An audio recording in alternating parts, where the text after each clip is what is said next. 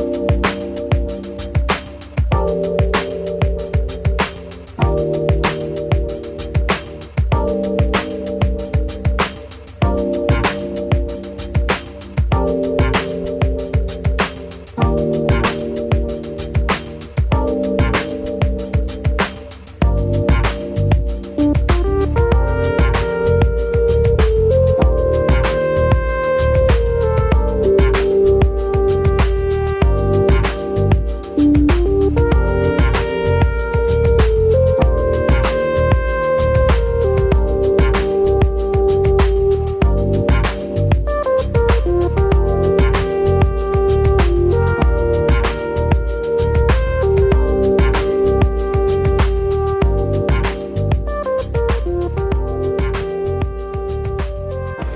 Buenos días.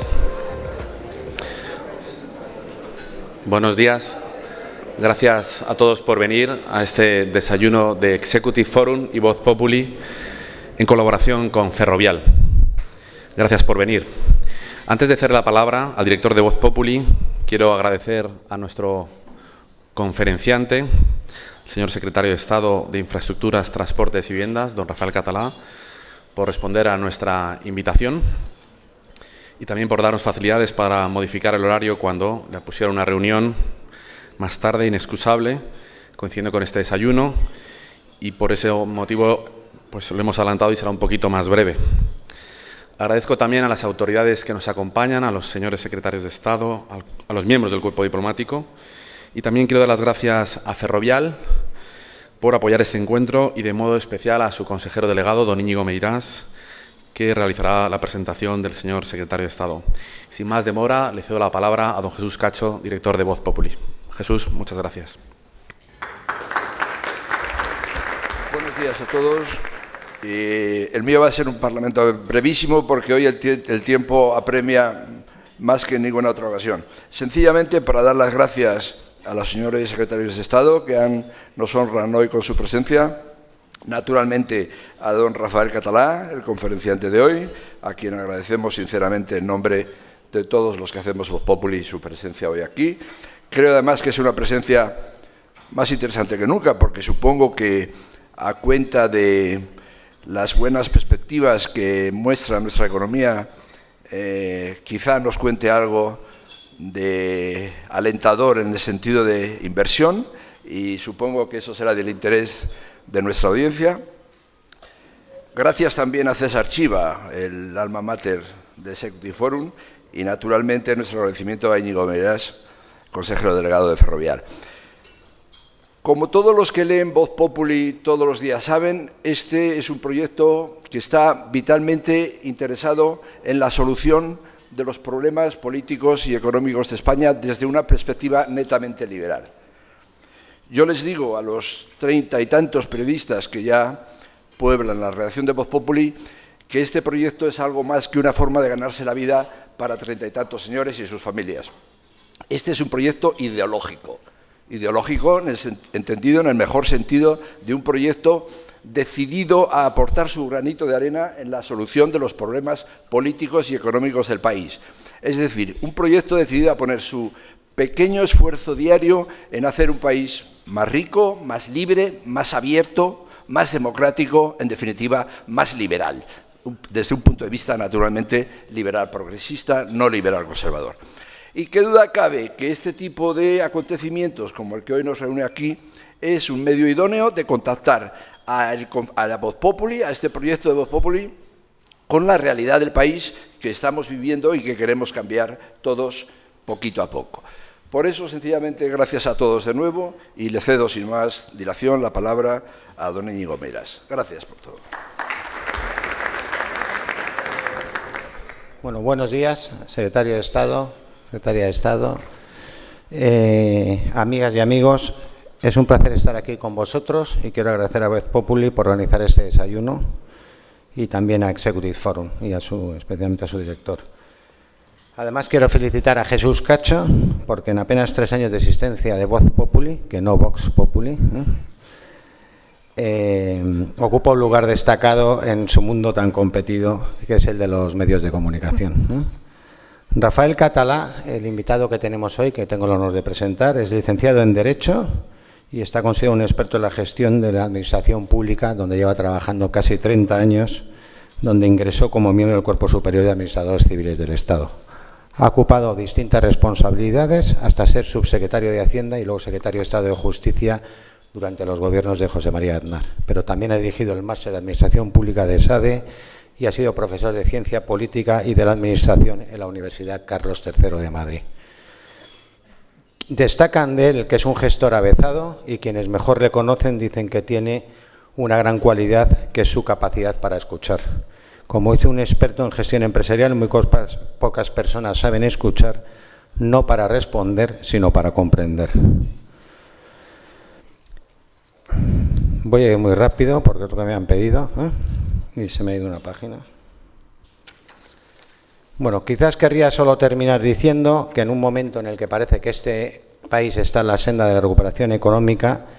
en nuestra opinión, como no puede ser de otra manera, el Ministerio de Fomento tiene que jugar un papel principal. Según los últimos datos estadísticos, parece que hay un tímido y ligero repunte de la actividad de construcción en España, tanto en obra civil como en edificación, y en nuestra opinión tiene que ser parte de la política del Gobierno que ayude a salir de esta larga recesión que hemos sufrido en España y, por supuesto, en colaboración con la iniciativa privada. Entiendo que Rafael tiene en este momento en su agenda, como todo el equipo del Ministerio de Fomento, bastantes eh, problemas todavía por resolver, como es el caso de las autopistas eh, radiales principalmente, pero en total un conjunto de nueve autopistas con problemas económicos y también están gestionando en este momento cuestiones muy importantes como la privatización de AENA o la posible privatización parcial del de, eh, transporte de pasajeros donde se está trabajando con Renfe. Espero que serán temas que el secretario de Estado va a tratar en su intervención. Muchas gracias a todos.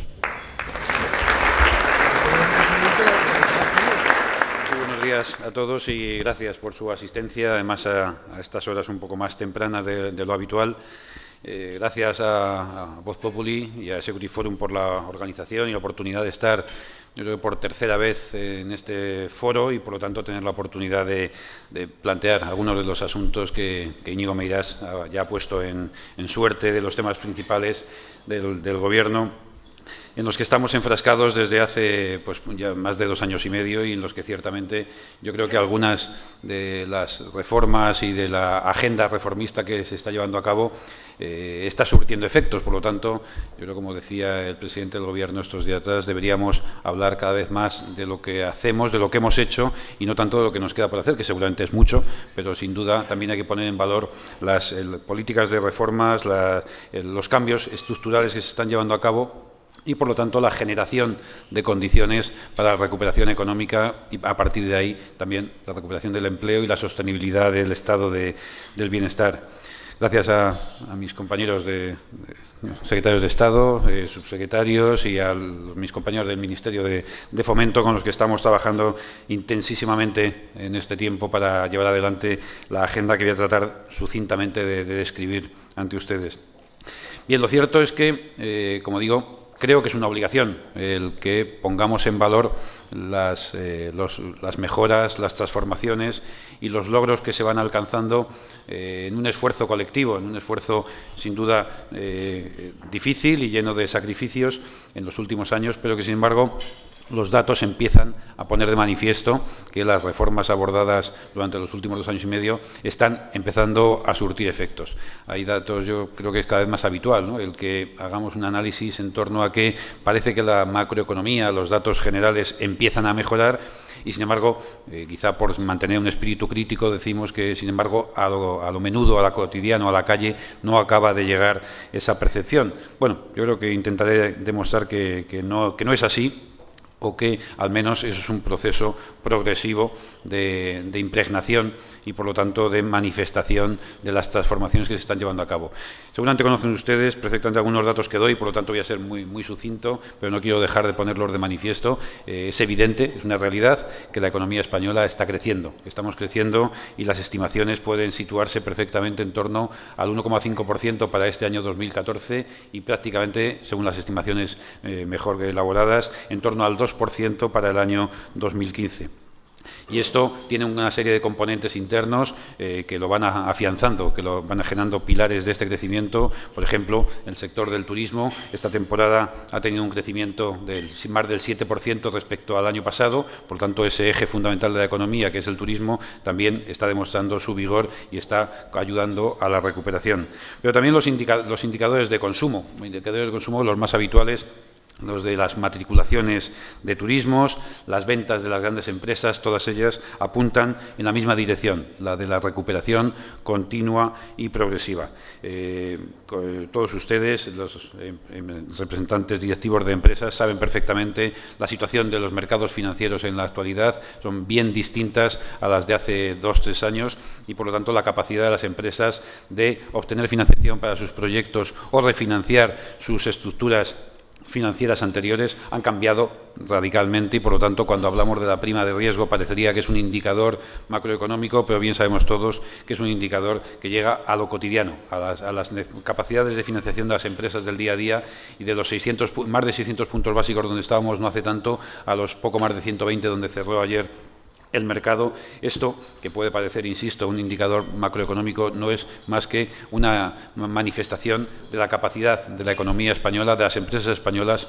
de financiar proyectos, de financiar crecimiento y de financiar en última instancia el empleo. El empleo en el que yo creo que eh, vamos teniendo, y la Secretaría de Estado de Empleo y, el Ministerio de Empleo y Seguridad Social lo pone de manifiesto periódicamente, datos que nos van indicando que seguimos teniendo un alto volumen de, desempleo y por lo tanto hay que seguir trabajando en esa dirección, pero la tendencia ha cambiado absolutamente. El número de desempleados en el último año está ha bajado en más de 424.000 personas que por lo tanto han encontrado, han encontrado empleo. El 73% de la caída del, del paro en la eurozona se ha producido en España y si es verdad que seguimos siendo un componente muy importante de ese indicador, lo cierto, insisto más, que la tendencia es absolutamente de recuperación. Esto, algunos dicen que esto lo ha hecho el señor Draghi, eh, regando financiación a los mercados, y seguramente algo tiene que ver, pero yo creo que tiene mucho más que ver también con el conjunto de reformas, con el conjunto de, políticas abordadas durante los dos últimos años y medio, sin duda complejas, difíciles, eh, algunos de los secretarios de Estado y subsecretarios que nos acompañan son protagonistas de estas, reformas y, ninguna de ellas eh, es, grata. No es grato llevar a cabo reformas en épocas de caída del empleo, en épocas de, eh, de, caída de la actividad económica. Cuando se crece es más fácil reformar. Yo tuve la oportunidad y la fortuna, como decía Íñigo, de formar parte de los gobiernos del año 96 hasta el año 2004, donde también se hicieron reformas muy importantes, pero en un escenario económico bien distinto y por lo tanto con una capacidad de crecimiento y de, y de creación de empleo muy diferente. En, todo caso, yo creo que la, agenda del Gobierno es la que ha promovido condiciones que han permitido recuperar la confianza en la economía española, los, los, procesos de consolidación fiscal, que a los ministerios de gasto nos genera una restricción de nuestras capacidades presupuestarias. Sin embargo, la consolidación fiscal que hemos llevado a cabo en dos años, hasta el año 2013, más de 2,3 puntos en, de PIB en, la totalidad, por encima de 27.000 millones de euros de reducción del gasto, sin duda es un esfuerzo extraordinario, eh, pero yo creo que también en la dirección correcta, en la dirección de dejar de drenar recursos financieros de la economía española para la financiación del sector público y dejar eh, también espacio y margen para la financiación de la economía productiva, al revés de como se había producido en los últimos años, donde, como saben, en el año 2010-2011 prácticamente la, la totalidad de las capacidades del sistema financiero, además muy comprimido en aquellos momentos, eran, eh, eh, eran drenados por parte del sector público, por lo tanto, limitando absolutamente la capacidad de financiación de la economía. Nos encontramos con un sector público con más de nueve puntos de PIB, más de 90.000 millones de euros de exceso de gastos sobre ingresos. Es era un desequilibrio que hacía imposible cualquier política de crecimiento y de recuperación. La reforma del sistema financiero ha sido también espectacular, espectacular en cuanto a su, a su, a su profundidad, a su transformación. El, sector financiero que tenemos en España en el año 2014 tiene poco que ver con el que existía en el, en el año 2009-2010. Ha habido una transformación relevante. Es verdad que con una intensa eh, eh, impacto en, en, algún caso en términos de empleo, en términos de necesidades de financiación, pero que también se está demostrando que van a ser capaces las entidades financieras de devolver esas aportaciones y, por lo tanto, de generar crecimiento y generar de nuevo eh, facilidades para la financiación de nuestra, de nuestra economía. Son muchas las reformas y en este breve tiempo que tengo esta mañana no me voy a parar mucho más en ella, pero la reforma laboral las reformas de las políticas de empleo, las reformas de los marcos regulatorios, como por ejemplo la ley de garantía de unidad de mercado o el proyecto de ley de desindexación de la, economía, la reforma de la, educación, las reformas del sistema tributario, que tendrá impacto completo a partir de 1 de enero de 2015, las reformas en la eficacia y sostenibilidad de los eh, mercados energéticos, en fin, es una agenda intensa, profunda, afectando a los elementos fundamentales de nuestro sistema productivo. Y yo creo que ahí, fundamentalmente ahí, está situada la capacidad de la economía española, de la capacidad de nuestro país de la recuperación, porque también es verdad que quien no ha hecho ese tipo de reformas, y lo estamos viendo en Europa, está teniendo problemas importantes para la recuperación y el crecimiento. Bien, este, este es el contexto macroeconómico en el que nos, encontramos y estos datos, insisto, aunque a veces parece como que a lo cotidiano no acaban de llegar, yo cuando miro al sector de, las infraestructuras y del transporte en particular, eh, también lo vemos, está habiendo recuperación en indicadores básicos de actividad en los sectores del transporte. Por ejemplo, en la red de carreteras del Estado el tráfico está creciendo. El tráfico está creciendo en el año 2014, en los primeros ocho meses del año, ha crecido más de un 2,5%. Por lo tanto, venimos de tasas de caída muy importante, pero, como digo, ese indicador básico de actividad en la carretera se está recuperando. En particular, también en el, el tráfico de camiones pesados se ha, se ha, incrementado más de un 3%, un 3,2% en nuestra red de carreteras y en el caso de las autopistas de peaje un 5,4%. Por tanto, yo creo que son datos manifiestos de mayor actividad. En el sistema portuario también, como luego me referí un poco más en detalle a él, pero el crecimiento de actividad en este año está por encima del 4%. En el tráfico ferroviario de viajeros en agosto de 2014, como bien saben los presidentes de Renfe y Adif, el número de viajeros transportados en el servicio AVE, en ese producto singular, ha, sido más de 1,3 millones de personas, lo que significa un 27% de incremento respecto a las tasas del año anterior. Ahí tiene mucho que ver políticas comerciales y otra serie de actuaciones que hemos llevado a cabo, pero en todo caso, como digo, son indicadores de mejora de la utilización de los servicios de transporte, indicadores de actividad, como lo son en el caso de los, de los aeropuertos. Los pasajeros acumulados en los ocho primeros meses de este año 2014 han crecido en su totalidad en la red de los aeropuertos del Estado en, más de un 4,5%, con incrementos muy importantes en Madrid por encima del 3,7%, en Barcelona por encima encima del 6% y algunos aeropuertos eh, turísticos en Canarias por encima del 14%. También el presidente de Iberia ha tenido ocasión reciente de poner de manifiesto la buena marcha de la actividad de la compañía, de su incremento de, pasajeros. Por lo tanto, vamos sumando, vamos poniendo de manifiesto el que eh, esa mejora de los datos macroeconómicos acaban llegando a los sectores de la actividad y, en particular, al sector del transporte. Este es el contexto en el que intentamos seguir adelante con un proyecto reformista. No, pensamos que ya hemos hecho lo que teníamos que hacer eh, y con un proyecto también de intensificación de las, de las inversiones en infraestructuras, convencidos, por una parte, de la capacidad de creación de empleo y dinamización económica que tiene la inversión en infraestructura de transporte y en segundo lugar, también en el factor de dinamización de la economía que tiene contar con infraestructuras que dinamizan el transporte, en particular el transporte de mercancías, pero también el transporte de viajeros. Por eso, eh, la licitación que hemos llevado a cabo en materia de carreteras durante los últimos dos años, en torno a 1.500 millones de euros, va a ser continuada durante el próximo año mediante un programa de licitación de carreteras que va a estar por encima de los 1.000 millones de euros a través de distintas piezas. Estamos trabajando en la posibilidad de licitar nuevos, nuevas eh, infraestructuras mediante los métodos alemanes o a través del propio Ministerio o a través de la eh, Sociedad de Infraestructuras del Transporte, como también los contratos de conservación integral. En fin, todo ello orientado, como decía, a continuar con la inversión, inversión productiva, inversión en los ejes vertebradores, de tal manera que durante el año 2015 estamos pensando en poner en servicio más de 350 kilómetros de la red de carreteras del Estado y eso no, me parece que sea un indicador por sí mismo, sino lo que significa es que nuevos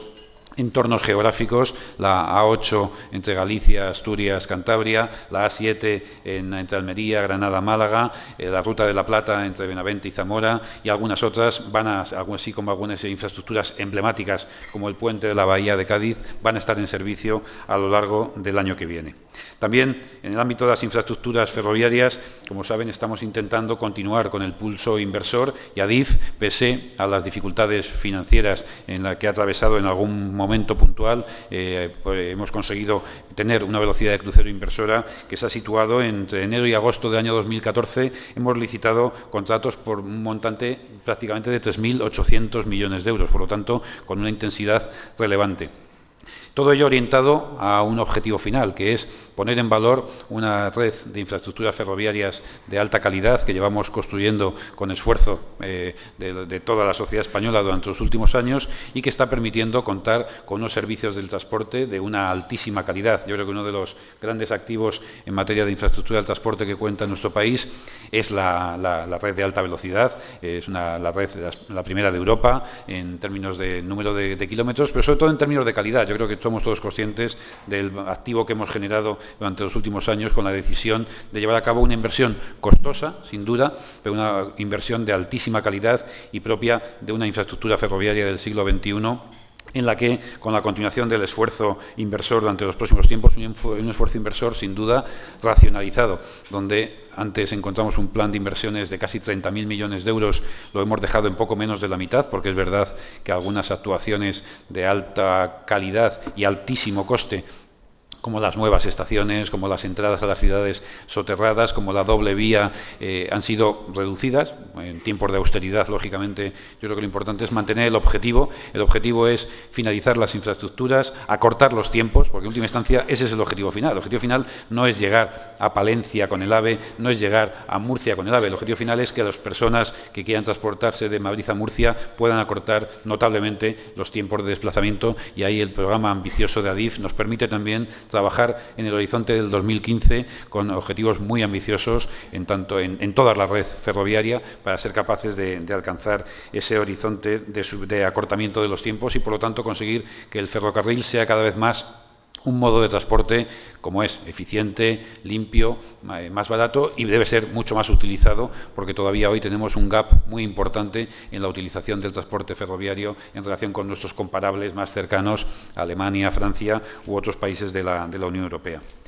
Quisiera también hacer una mención en este repaso rápido de los ejes y de los elementos fundamentales de la política del departamento al, operador aeroportuario. Eh, yo creo que uno de los ejemplos eh, fundamentales y paradigmáticos de cómo se puede mejorar la gestión desde el sector público de los eh, grandes activos que colaboran en la actividad económica es la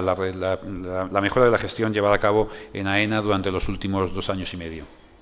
Los datos son, eh, hablan por sí mismos. Se ha, duplicado el resultado bruto de explotación de 880 millones a más de 1.600 al cierre de 2013. Se ha generado, teníamos una generación negativa de caja de en torno a 500 millones y la hemos llevado, como digo, a más de 840 millones de euros en el año 2013. La relación deuda-vida ha pasado de más de 13 veces a cerrar seguramente en torno a 6 veces en el año 2014. En fin, todos indicadores eh, de, económicos y de gestión empresarial ponen de manifiesto el esfuerzo por la mejora en la gestión, el esfuerzo en el ajuste del gasto, el esfuerzo en la mejora del ingreso, el ingreso comercial, el ingreso aeroportuario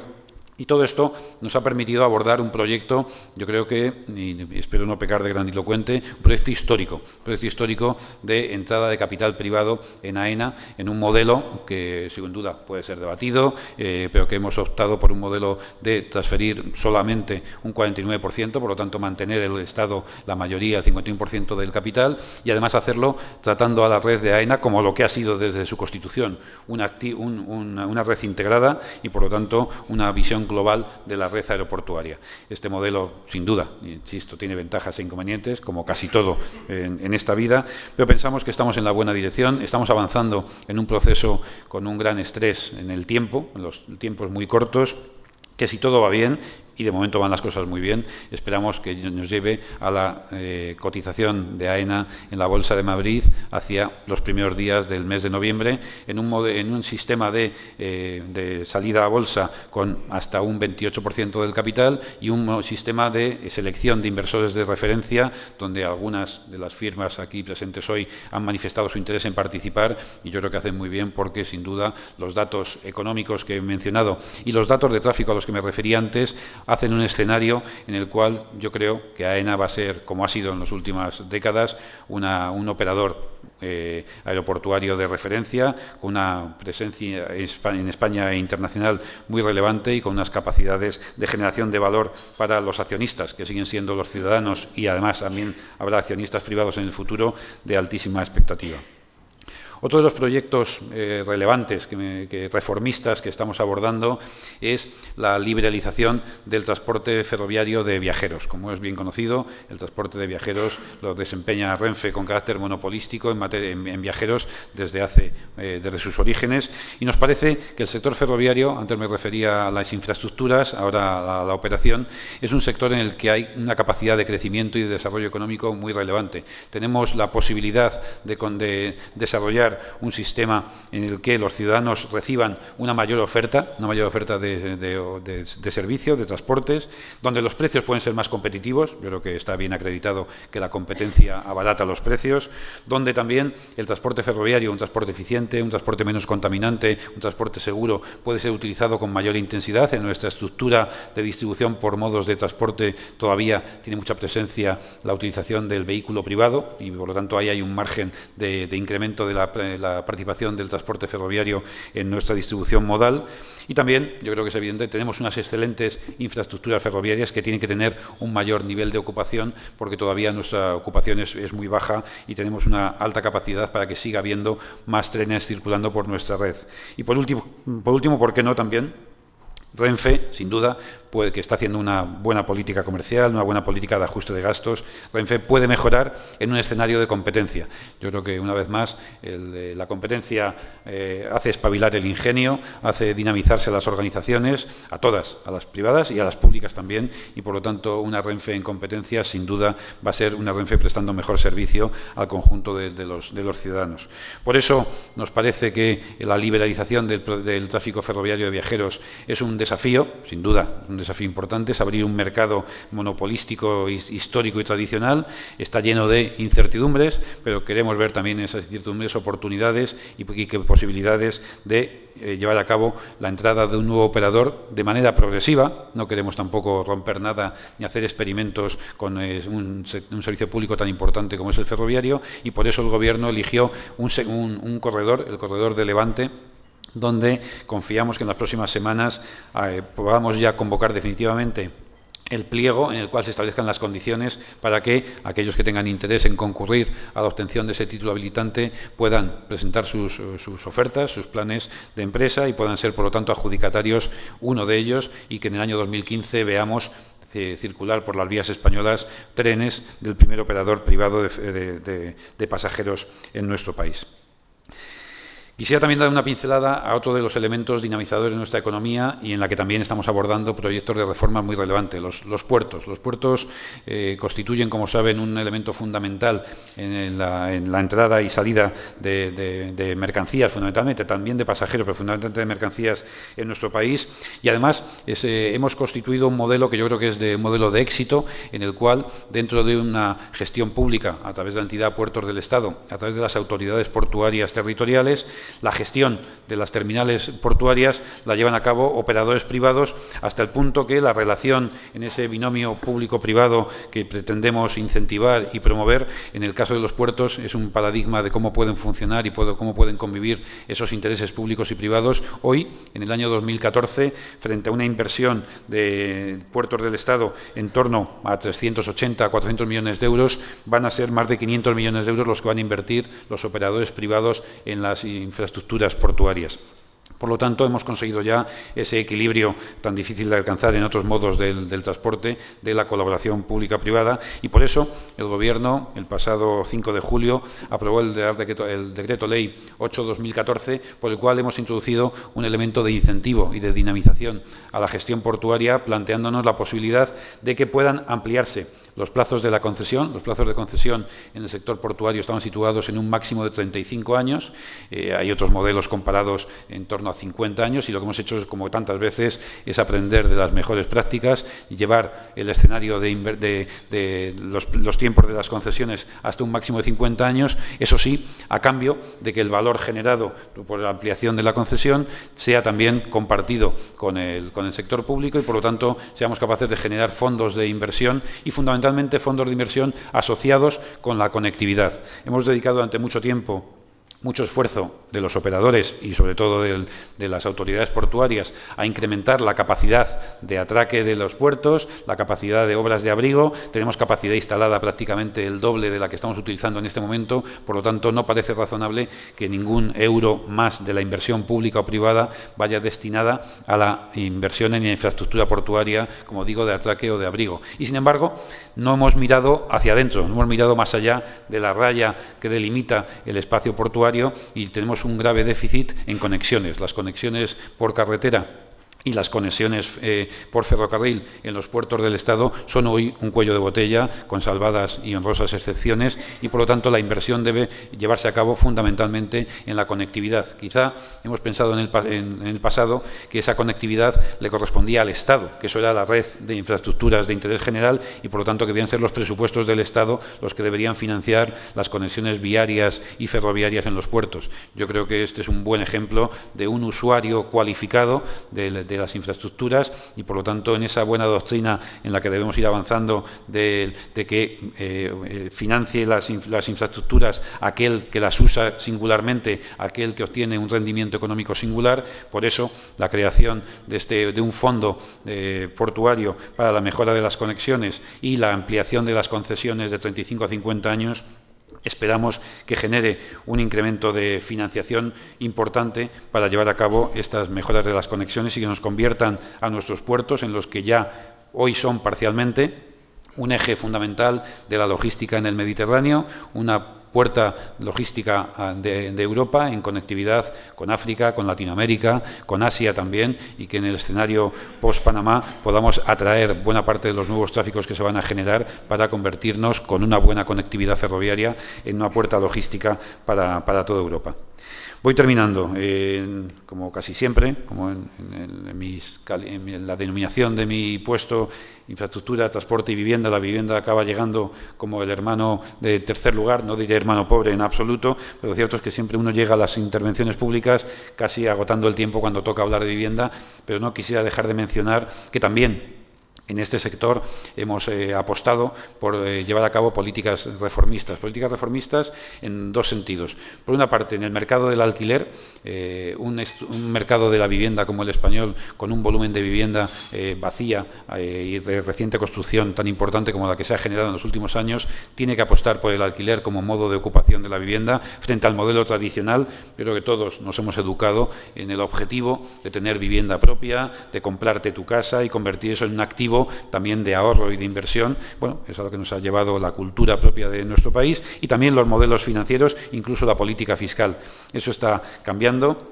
como saben, es verdad que los incentivos fiscales en torno a la adquisición de vivienda los estamos modificando y aparece, como digo, la ocupación de vivienda en alquiler como un objetivo fundamental. Para eso, entre otras cosas, lo que hay que hacer es cambiar el marco jurídico de la vivienda y por eso modificamos la ley de arrendamiento urbano, la ley de alquiler, para garantizar los derechos de los propietarios, de los inquilinos, de arrendadores y arrendatarios. Y lo cierto es que un año y medio después de esa reforma estamos despacio, sin duda, pero incrementando las tasas de ocupación de vivienda en alquiler desde un 20% hasta un 21,5%. Eh, bueno, en términos porcentuales no es demasiado, en términos comparativos es un incremento muy relevante. Pensamos que está empezando a surtir efecto. Algunos de los operadores en el mercado del alquiler nos está poniendo de manifiesto que el número de viviendas a disposición de, los ciudadanos eh, se ha incrementado en un 20% y, por lo tanto, se ha dinamizado ese sector, como se ha dinamizado la aparición de figuras como las SOCIMIS. Las SOCIMIS ya existían, como saben ustedes, y, sin embargo, el marco jurídico, fiscal y societario que tenían las hacían inviables. Bien, pues las cuatro SOCIMIS que están hoy cotizando ya en el mercado continuo han invertido más de 1.500 millones de euros en adquisición de activos para poner a disposición del mercado del alquiler. Por lo tanto, yo creo que también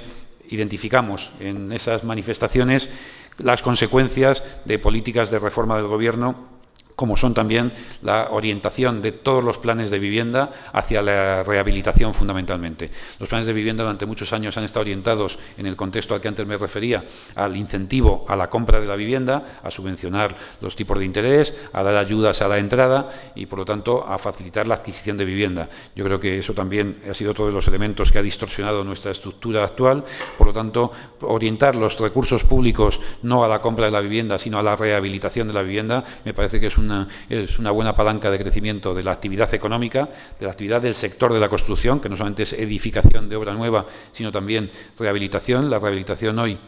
tiene prácticamente un 30% de, eh, de, presencia en el sector de la construcción en su conjunto frente a la nueva edificación y, por lo tanto, la capacidad de creación de empleo, de recuperación de ese empleo que se ha perdido, que en veces es un empleo muy poco cualificado y que va a tener difícil reubicación en, eh, nuestra, en nuestra sociedad. Por lo tanto, encontrar nichos en los cuales el sector mal llamado del ladrillo pueda reconvertirse hacia la rehabilitación nos parece un desafío muy importante en el que estamos trabajando. Bien, todo esto es descripción de políticas de, fomento de la liberalización, de la flexibilización, igual que antes me he referido a las más estratégicas, la del empleo, la del sistema financiero, la del sistema educativo. también en el sector del transporte y las infraestructuras estamos intentando contribuir mediante estas medidas de liberalización y privatización a crear un mercado de oportunidades, un mercado de, donde los inversores tengan interés en aportar recursos a la economía española, y, pero no me quiero olvidar para terminar también de la, inversa, de la inversa que es la presencia española de las empresas españolas en el ámbito internacional. Una parte de nuestro tiempo, lo tenemos eh, bien identificado, lo dedicamos a promover las eh, relaciones institucionales con los eh, distintos gobiernos del ámbito europeo, del ámbito latinoamericano, del ámbito de distintos países de, Oriente, Medio Oriente Próximo, de tal manera que allí donde hay oportunidades de inversión, y ustedes las conocen perfectamente porque están muy presentes en la empresa española, tengan siempre al el Gobierno de España ayudando a la empresa española en la obtención de nuevos contratos, nuevas oportunidades y, por lo tanto, nuevas capacidades de seguir contribuyendo a la creación de, de de entorno económico de crecimiento y creación de empleo. Fíjense que los datos son extraordinarios. Yo creo que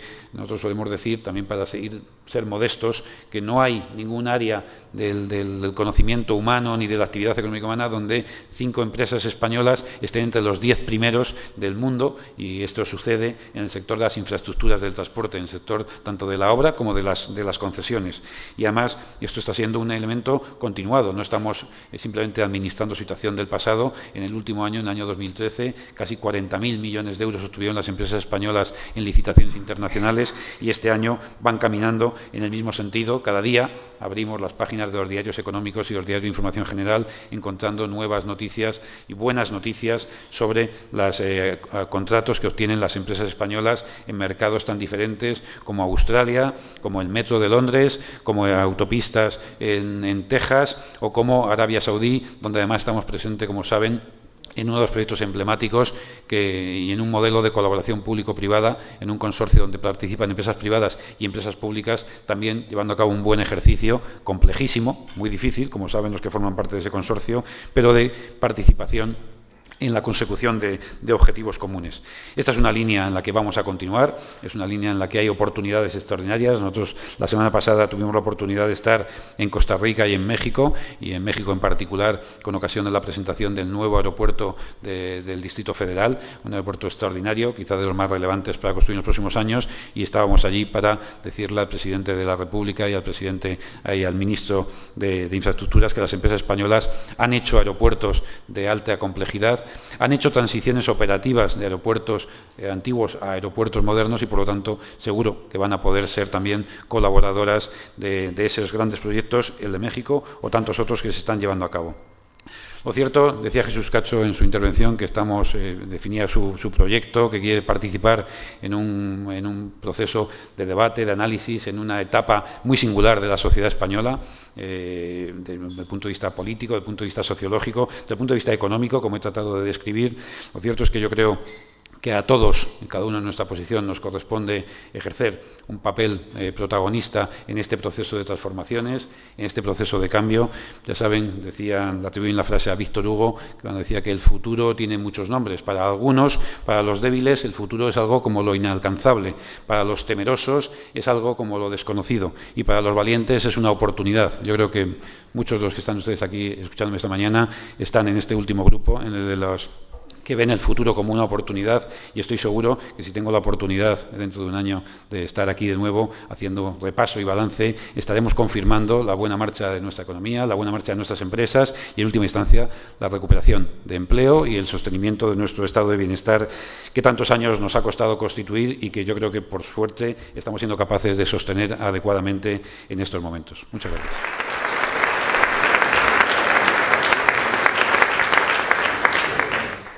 Gracias, señor secretario, por su intervención.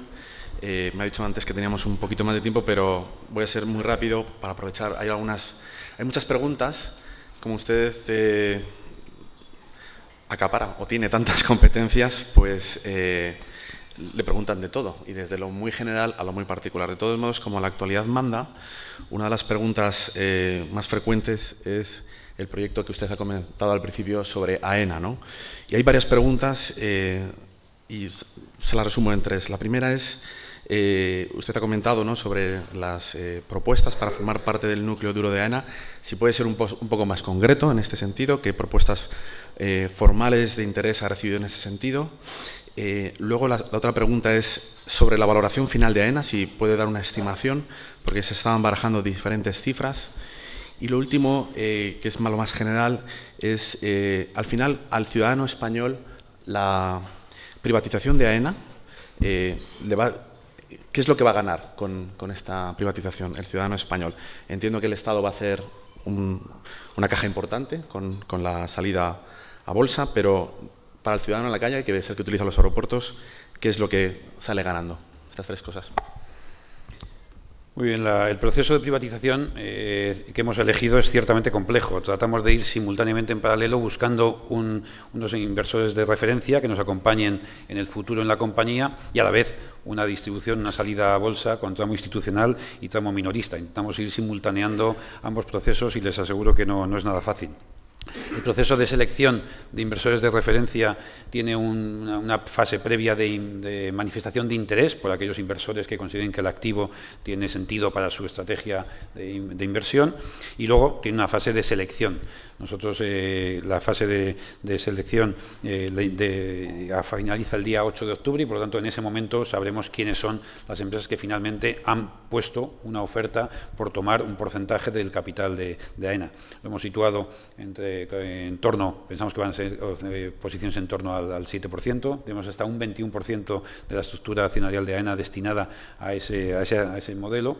Y bueno, eh, estamos en ello, por lo tanto, yo creo que tanto fondos de inversión eh, han manifestado interés, de tanto españoles como internacionales, algunas empresas del sector de infraestructuras, nos parece, lo que nos dicen, nos parece que estamos en fase de lo que nos dicen, luego hay que ver lo que ponen como ofertas ciertas y ofertas vinculantes, pero lo que nos dicen es que el activo por sí mismo el operador aeroportuario AENA, con su estado financiero y su salud económica y el mercado del transporte aéreo en España es un atractivo relevante.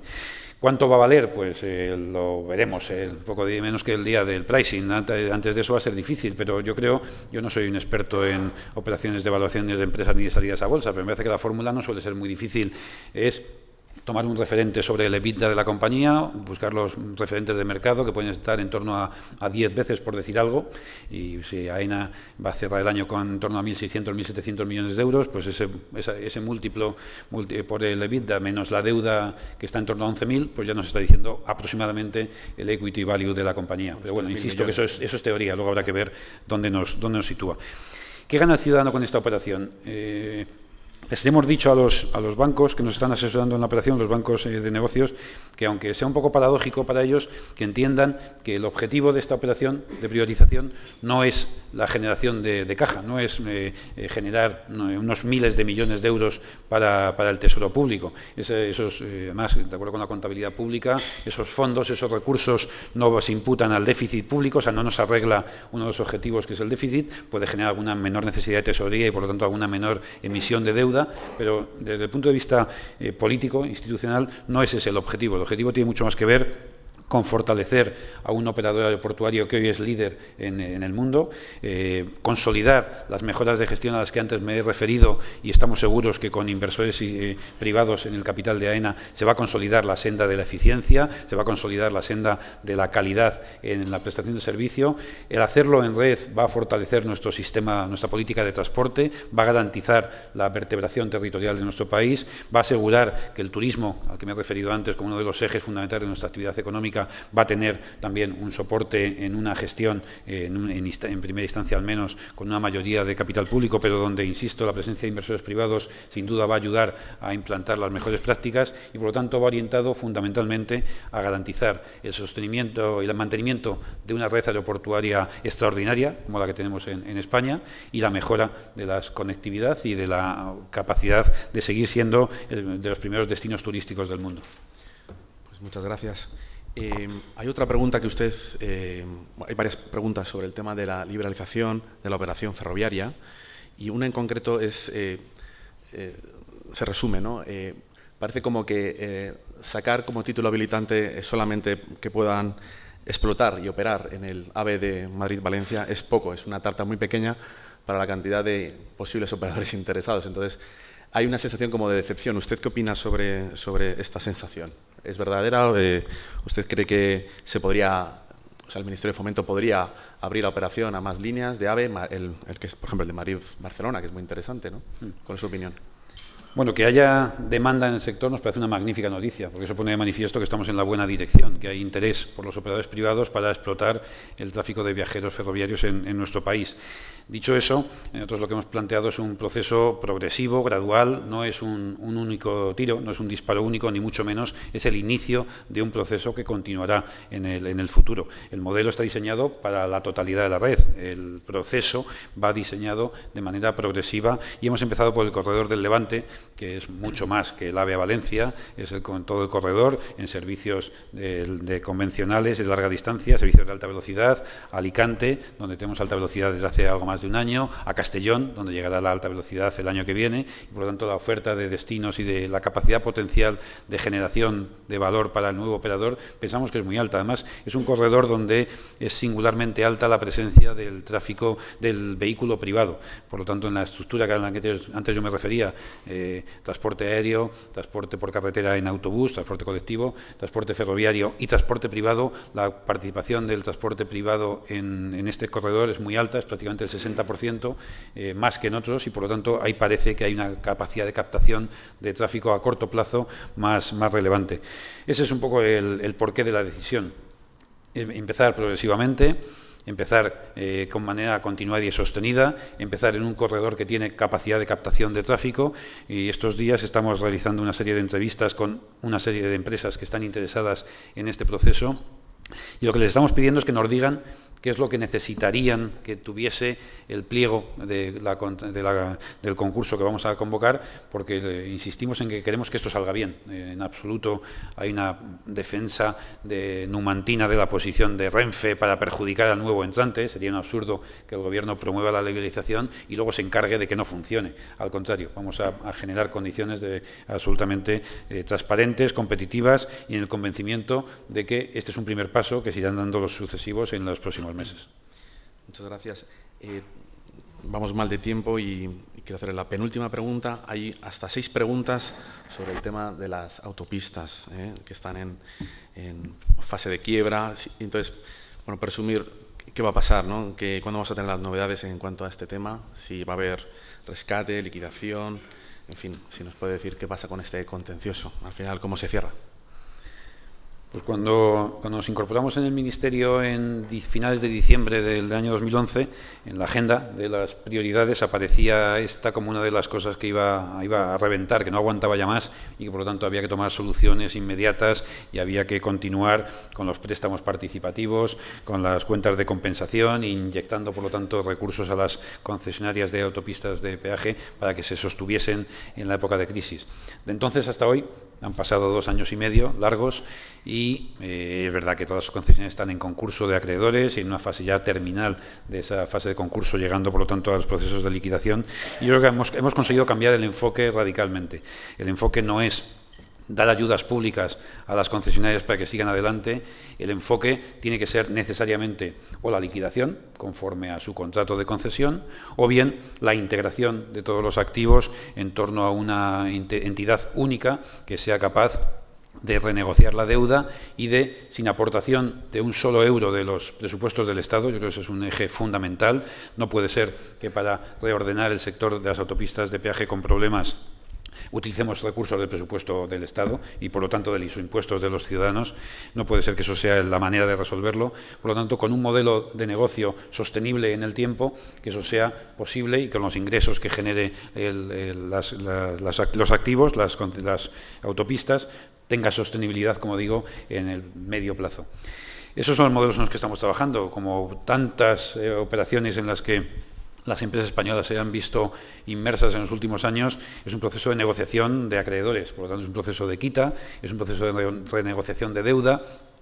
y esos procesos, yo he dicho muchas veces a los eh, amigos de los medios de comunicación que no conozco a ninguna empresa privada que esté en una operación de, de money, de compra, de fusión y que lo esté contando anticipadamente en los medios antes de haberla hecho. Y esta operación la llevamos cantando sucesivamente durante dos años y medio, que parece, cada día parece que ya, que ya, que ya, a mí me preguntan muchas veces eh, ¿qué, hay de nuevo, como me decías tú ahora, César. ¿no? Yo creo que estamos trabajando, estamos intentando diseñar un modelo sostenible, como digo, un modelo que no impacte en los presupuestos del Estado, que garantice también que el modelo concesional español, he dicho antes, es un modelo de éxito en el mundo, sería una paradoja que no lo fuese aquí también, y además, como bien saben algunos, como el presidente de Adif en sus vidas anteriores, las autopistas han sido siempre un buen negocio. Lo que pasa es que han tenido ciclos, han tenido ciclos y cuando cae el ingreso tienen problemas financieros porque son eh, entidades muy apalancadas y con problemas de sostenibilidad. Pero en el medio y largo plazo han acreditado que son eh, de las más de 30 concesiones que tenemos en España de autopistas, hay nueve con problemas, pero hay otras muchas que van muy bien y que son una magnífica actividad. Por lo tanto, queremos llevar a estas nueve al otro lado, confiando en que la recuperación económica y el escenario, la renegociación de su endeudamiento en un plazo a 30 años hará sostenible el negocio. En eso estamos trabajando y cuando lo tengamos resuelto, por supuesto que lo contaremos ya con, todo tipo de detalle. Ir anticipando, si ayer hemos hablado con un banco y nos ha dicho esto, o mañana vamos a hablar con otro, yo creo que no aporta nada de verdad más que generar ruido y generar incertidumbre. Ya para terminar, eh, ahora estamos todo el día hablando de la marca España. Aquí en este salón están representadas muchas empresas que que bueno, son de infraestructura, de ingeniería, empresas que han perdido negocio en España, pero que a lo mejor por eso han salido fuera y que están llevando la, bandera española, además con sus proveedores también eh, detrás. ¿Usted cómo valora esta aportación de nuestras empresas españolas en bueno, pues a esa imagen de, la empresa española de forma global? Mm. Dice que yo el dato que, del que dispongo me dice que cuatro de cada cinco euros de la facturación de las empresas que cotizan en el IBEX 35 está generado en, el mercado internacional, lo cual pone de manifiesto la intensidad de la internacionalización de las empresas y en particular de las grandes empresas españolas. Yo creo que eso es una constatación yo creo que es una fortaleza. En ocasiones eh, hacemos consideraciones sobre cuál es la, la dificultad del empleo en España que obliga a nuestros mejores licenciados y graduados y trabajadores a irse fuera. Y yo creo que, como decía desde el principio de mi intervención, hay que ver el, el lado positivo, el vaso medio lleno y es una magnífica fortaleza y una magnífica oportunidad que tengamos capacidad de que nuestros eh, ingenieros, por decirlo aplicando al sector, sean demandados en todo el mundo o que nuestras empresas estén consiguiendo este volumen de, actividad y por lo tanto de facturación en el, en el, ámbito internacional. Es verdad que eso no genera, esa actividad no genera gran empleo interno, es evidente, pero yo creo que lo que se hace son entidades mucho más fuertes, mucho más sólidas, con más eh, situaciones más estabilizadas en mercados diferentes, más, eh, con mayor resistencia a las crisis geográficas, porque están en entornos muy, muy diferentes y con una capacidad de generación como digo, de inversión y en última instancia de marca España. Nosotros eh, decimos siempre cuando vamos a cualquier visita institucional, tenemos un vídeo de presentación en la que decimos cómo está España en, carreteras, en ferrocarriles, en aeropuertos, en puertos, y siempre intentamos ser modestos, para que no parezca tampoco que queremos demostrar que somos los eh, campeones del mundo, y también empezamos el vídeo diciendo cómo estaba España hace 30 años, cómo hemos sido capaces de transformar un país entre todos y con, trabajando y con, generando un conocimiento que ahora es exportable y es un conocimiento que triunfa en todo el mundo. Yo creo que es una de las mejores experiencias de consolidación de un Estado moderno, de una sociedad con potencia, con capacidad eh, generada durante las últimas décadas y que hoy, como digo, tiene una realidad extraordinaria de la que nos hace sentirnos, yo creo que a todos, muy orgullosos de la fortaleza de la empresa española eh, que está presente en todo el mundo. Pues, muchísimas gracias, señor secretario. Eh, creo que hemos cumplido con la hora prevista. gracias por su asistencia, por su brillante exposición. Eh, le queda un año largo, le hemos invitado tres veces, esperamos que el año que viene, en el último cuarto, eh, siguiendo el símil del baloncesto, que se juega mucho, ¿no? como vimos ayer, ¿no? el último cuarto puede ser definitivo, ¿no? para lo bueno o para lo malo. Eh, y entonces esperamos que sea el mejor de todos y que acabe con, un, con una buena victoria de España y al menos en su, en su departamento. Muchísimas gracias a Ferrovial y a Voz Populi y gracias a todos ustedes por asistir. Gracias.